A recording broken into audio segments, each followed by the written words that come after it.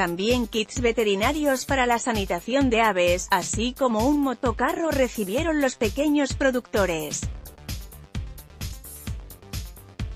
Guairá, la comunidad ovenia del cuarto departamento, recibió un importante lote de herramientas e insumos veterinarios para potenciar la producción en fincas familiares de parte del Ministerio de Agricultura y Ganadería, MAG, a través del Proyecto de Desarrollo Rural Sostenible, PRODRS.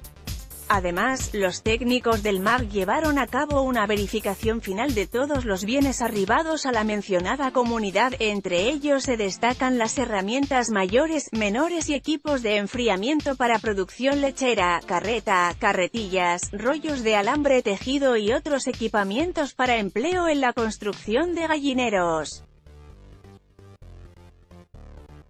También kits veterinarios para la sanitación de aves, así como un motocarro que será empleado para el transporte de mercaderías a los centros de comercialización, huevos, carnes, hortalizas y frutas, un monocultor que se constituye en una herramienta clave para aumentar la producción agrícola local y mochilas para pulverización.